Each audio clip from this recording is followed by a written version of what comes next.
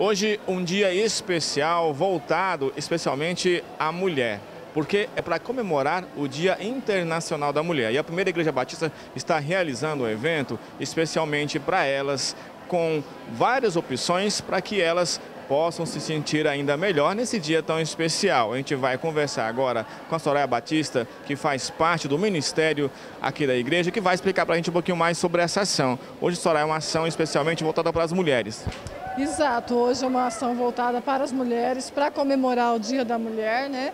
Aí nós estamos já há alguns anos realizando esse evento com vários cuidados, com a pele, cabelo, né, unha, atendimentos laboratoriais, exames, para que se sintam melhor, além da beleza que a gente tem por dentro, também expor um pouquinho a beleza por fora, para que as mulheres se sintam mais valorizadas, mais estimuladas, ter sua autoestima mais elevada. Então é um trabalho para a nossa comunidade de Rolim de Moura, para a nossa igreja, para a nossa comunidade, servir né, com amor, que é o que a gente faz.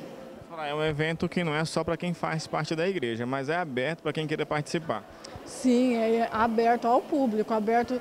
O nosso prazer é receber a comunidade que não faz parte da nossa igreja, que não seja membro. Então a gente convida realmente a população de Rolim de Moura, toda ela é convidada para que estejam aqui prestigiando o nosso evento, participando. Nós temos nossos parceiros, que é a Conect 9, Faculdade de São Paulo, Farol, que sempre nos ajuda com os atendimentos específicos.